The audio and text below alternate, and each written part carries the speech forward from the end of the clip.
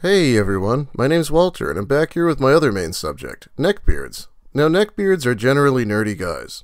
None of these are required, but common traits include a literal neckbeard, delusions of intelligence, smug atheism, awkwardly hitting on women, and, I don't know, cringy anime stuff.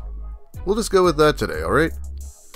I'm not one for long intros, so let's just begin with neckbeards from Reddit. First off, we're going to read some posts from Reddit Just Neckbeard Things. Anyway, you also seem like an easygoing person, which I really adore. So much for the self deprecating humor already, haha. Am I being intimidating? I tend to write high level English already up front. But don't worry, you can rest assured that I don't intend to overwhelm. I in fact trying to impress you. You also have a wide pelvis bone, which make you look fertile and procreation ready, thus more feminine and attractive. Say like a woman that deserves to grow my seeds. The real question now, will you nurse my seeds and grow them? I'd think it was Lucas, but his grammar's actually a lot better than this. This is what we call high-level English, apparently. You know, I can't really think of anything grosser to message someone about than your seed. Might want to save that conversation for the second date or something. I'm going to elucidate a little observation here. You're exquisite.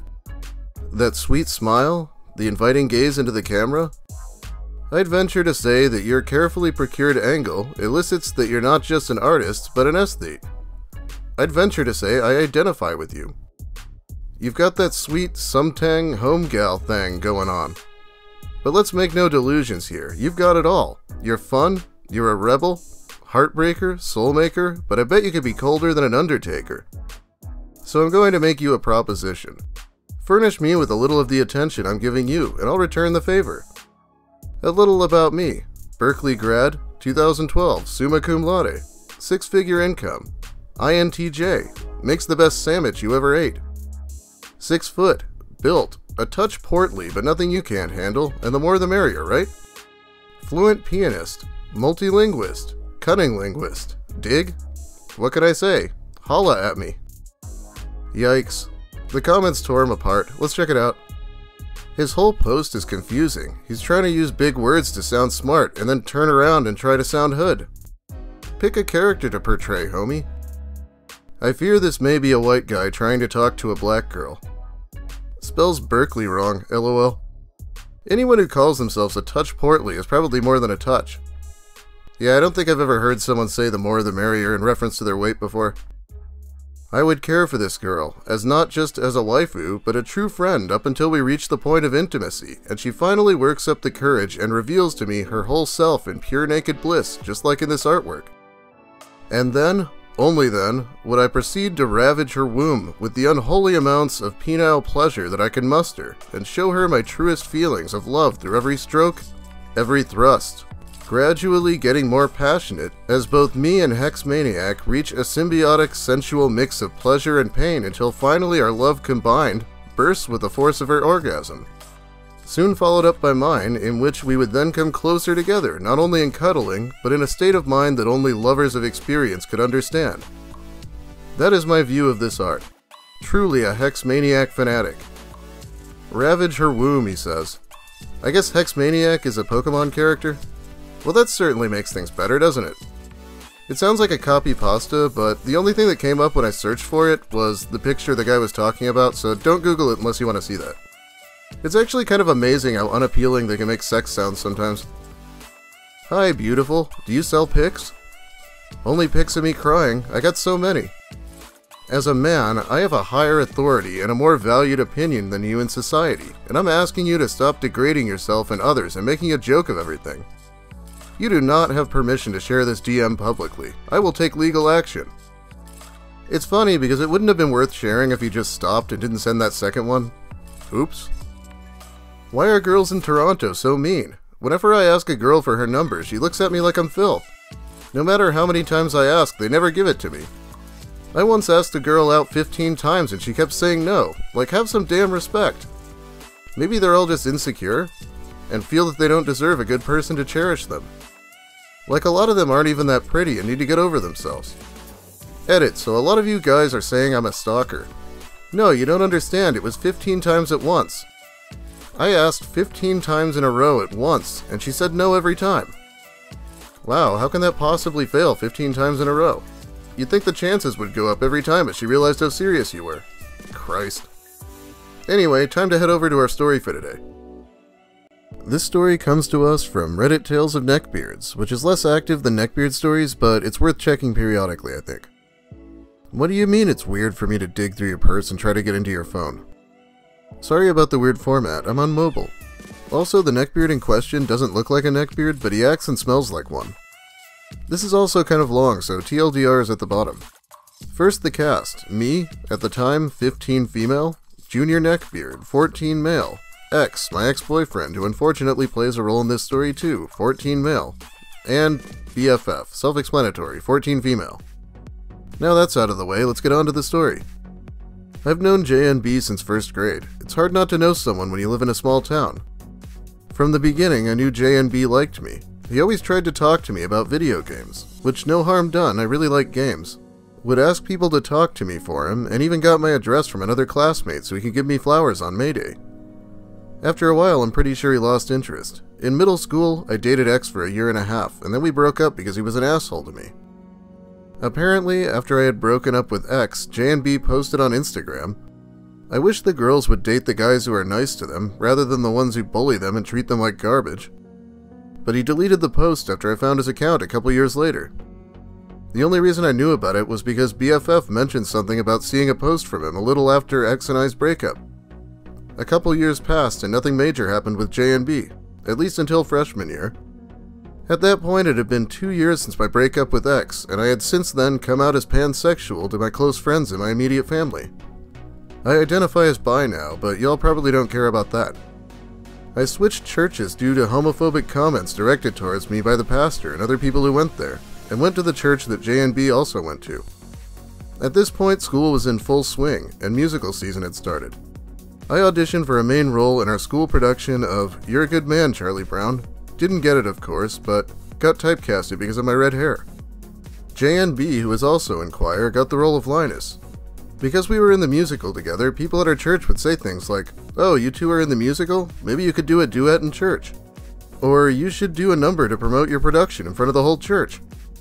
I even had someone ask me if JNB and I were dating, which we weren't, but clearly JNB let all of these comments go to his head. I noticed he started to get closer to me, and not in a he knows me better, I know him better kind of way. I mean, he literally got closer to me.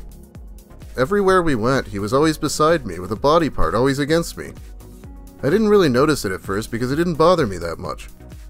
I'd figured it was just unintentional and thought nothing of it. Then it got worse. At church, we have classes every Wednesday, which are split into different age groups. For example, all the middle schoolers are together, high schoolers are a group, preschool, you get the idea. Where the high schoolers met was in a room on the very top floor, which also happened to have a blue couch in it. During class, I would sit on this couch with JNB. I sat on the far end so I could lean against the arm. JNB, however, sat right next to me. Like I mentioned a little bit ago, a part of his body always had to touch me. In this case, it was usually his arm against my thigh. Even our teacher, who is also the pastor, asked JNB why he sat so close to me. That was when it started to unnerve me just a little. God, I think I'd noticed that pretty quickly, honestly. Until one day I was sitting like I normally do, I shifted a little, and JNB's hand went underneath my thigh and pressed right against my butt. And instead of pulling his hand away and saying, Oops, I'm so sorry, he just kept it there. He kept it there and said nothing. So of course I got up and moved across the room and sat next to the pastor's son, who was a year older than me and did basketball, so he was much stronger than JNB. After that, JNB made a post on Instagram, which I had found earlier in the year, about how he doesn't mean to touch people because he's so devoid of human affection that he doesn't realize he's doing it until he's too late. He then went on to say he thinks it's because he has schizophrenia, anxiety, and depression, all which are self diagnosed. Yeah, I'm not really seeing how any of those things would make you touch someone. We have people with anxiety in these stories all the time. It generally makes them not want to touch anyone. And schizophrenia doesn't usually manifest until your 20s. But the touching didn't stop there. During dress rehearsals, I would sit on a stool on stage right with a script, keeping track of when I needed to go on and where we were at in the musical. Because of where I was posted, other cast members would often look over my shoulder to also see where we were at or even review their lines. I had no problem with this because I understood that I couldn't be the only person who used the script. However, JNB would stand right next to me, his shoulder against mine, and say he's reading the script when he wasn't going on for another three scenes. I even asked him a few times if he could back away a little because I was feeling claustrophobic, and he nodded and moved away a little, only to subconsciously move back a few seconds later. It got to the point where I just said screw it and left my post to stand further back in the wings to get away from him. Because not only was the touching thing really, really weird, he smelled horrible. I don't like commenting on smell because not everyone can control it. JNB, however, was skinny and didn't sweat much. Most people say he smells bad because his family can't afford deodorant.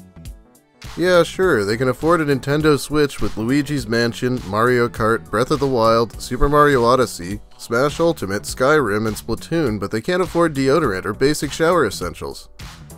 God, can you believe Nintendo is still selling Skyrim for $60 in the year of our Lord 2020? Ridiculous.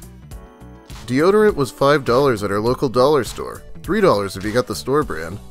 It was so bad on some days that I would literally gag when he walked by. I remember high school vaguely. Everyone smelled like they bathed in Axe body spray. I guess it's better than nothing, though. And I know some people would say, well, why didn't you tell him it was making you uncomfortable? The reason why was because at that point it wasn't really bothering me. I'd never really had a problem with people touching me unless they're complete strangers. I hadn't taken much notice to it in the first place because, like I mentioned earlier, I thought it was all just unintentional. Until the purse incident. Musical season was coming to a close, which meant it was getting closer and closer to our opening night. With our performance two weeks away, we needed to focus on where things needed to go on stage during certain scenes. Since it was a small production with six lead characters and 14 ensemble members, the ensemble worked on blocking the set, while the leads worked on their lines and music. This was on a Saturday, and since I didn't have a car yet, my mom was in charge of picking me up when we were done. We lived out in the country, so walking home was out of the question. After a good hour or so figuring out how to do the blocking, getting it done in the small time frame between scenes, we finally finished. Tired and exhausted from moving heavy things around in a short time span, we all flocked to the seats in the auditorium. I knew it would be 15 minutes before my mom would be able to get me, so I figured I could call her and talk to my friends until she got there.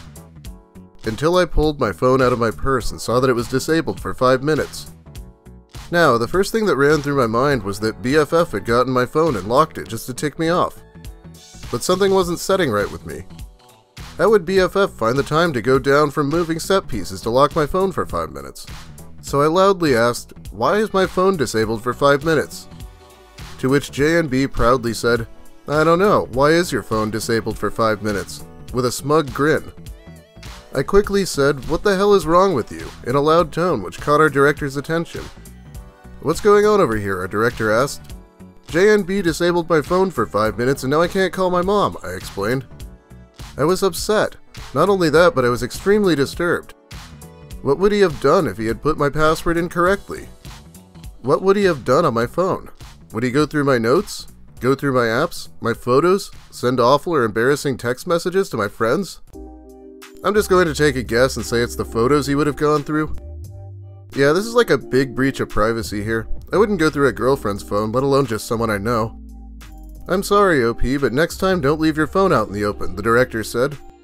Before I could tell him that it was in my purse, JNB butted in. Yeah, don't leave it in the open. Someone had a question for the director, so we went to go help them. I was shaking with anger at that point. I turned to JNB and shot him the hardest glare I'd ever given anyone to show him how much he screwed up. After that, I told my parents. Both of them told me that I should just stay away from JNB, advice that I actually wanted to follow. Later that day, when I was at work, my coworker, who was also helping out with the musical, was working in the produce department in the store I work at. While I was on my break, I was venting to my coworker about how JNB dug through my purse and tried to unlock my phone, which made her pissed. She asked me if the director did anything about it, and I explained to her that he thought I left my phone out in the open. She told me that I needed to tell our director and the woman who was running the sound system, who was the cousin of JNB, what actually happened so JNB could be apprehended for his actions. Apprehended might not be the exact word the author's looking for, but fair enough. So at the next practice, I approached the director while he was talking with the lady who ran the sound booth. I explained to him that I didn't leave my phone out in the open and that JNB dug through my purse to find my phone and disabled it, then was proud that he did it. The director was just as pissed as my coworker, but neither of them could match the amount of anger that came from JNB's cousin. She was fuming that he would ever do anything like that, grateful that he never figured out my password, and wished that I had told them sooner. While I was at it, I also mentioned the whole touching thing. Both of the adults were so so so angry with JNB and were grateful that I told them the full story. After that, JNB had to stay in the left wing unless he had to enter from stage right. He wasn't allowed to be near me at all, and the director even let me lock my purse in his office during practices in case JNB tried to do it again. Oh, and I forgot to mention that after the incident, I posted a long rant on Instagram about how you shouldn't go through anyone's stuff without permission, nor should you touch them, even if they don't say anything to you about it. To which JNB replied with a post of his own, basically blaming everything he does on other people, saying it's because of his possible schizophrenia because no one will hire him, blah blah blah. Then he tried to save himself by saying he was sorry, but not for going through my stuff or touching me without my permission. He said he was sorry that I was made uncomfortable by his unintentional actions and that next time I should say something. Deep down, I know that even if I did say stop, he probably wouldn't have listened. After this whole incident, my BFF came forward and told me that he had been touching her in the same way he had been with me. I told her right out that she needed to go and tell the director because he would keep JNB away from her as well. So she did, and things got better for us. Until X got involved. A little bit of time passed from BFF coming forward and saying that JNB touched her in the same manner before my ex approached me. This conversation still infuriates me to this day. Basically, he came up to me and said, Why are you trying to pin all of JNB's friends against him?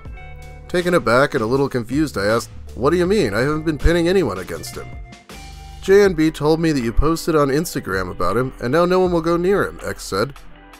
I firmly explained that the post didn't mention any names, and if people knew it was JNB, that was his own fault because he openly commented on my post. God, these guys always do that. They should realize that the vague post is better than what'll happen if they try to defend what they did.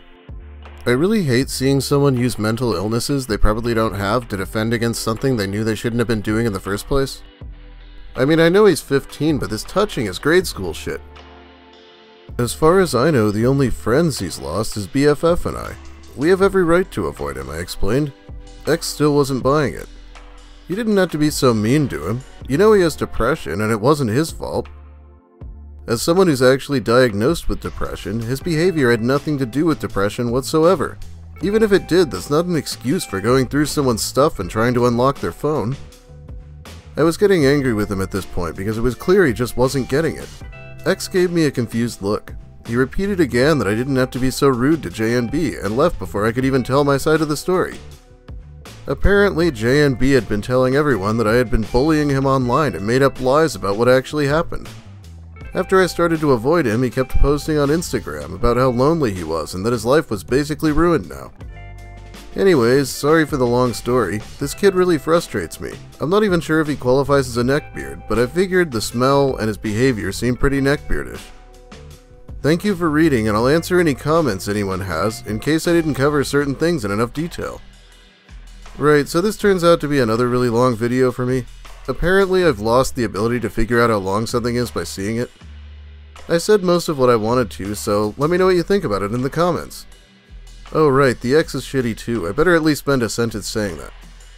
There wasn't a whole lot neckbeardy about the guy in the story, but it does seem like the kind of thing I cover. All you have to do is be creeping, really. This guy's still young, so hopefully you can turn it around or something. Anyway, it's about all the time I have for you today. Thanks for watching. If you liked the video, please leave a like. If you have something to say, once again, let me hear your opinion in the comments, because engagement's good for the algorithm. I think. I haven't really kept up with YouTube lately. If you're new here and want more stories from Reddit and maybe other things, consider subscribing for more of the same. I plan on making a lot of videos in the near future here, including Reddit relationships and dating hell. But I'm about to pass out over here, so let's call it a night. Have a great night, everyone, and don't just touch people. It's weird.